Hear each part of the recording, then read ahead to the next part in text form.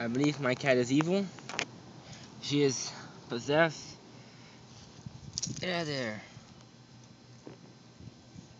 Meow, meow. I'm trying to get over to get over, get her over to look over this way.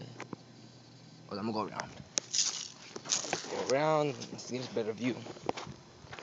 The zombie terrifying act.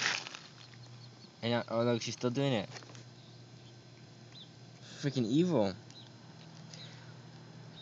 Okay, now she stopped being evil. Because she has cooled down, I guess.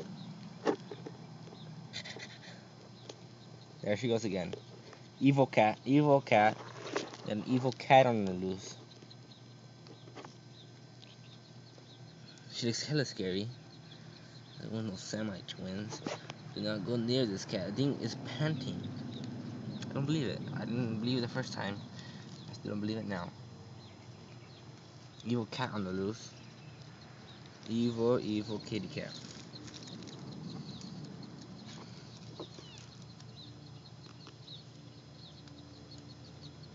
Meow.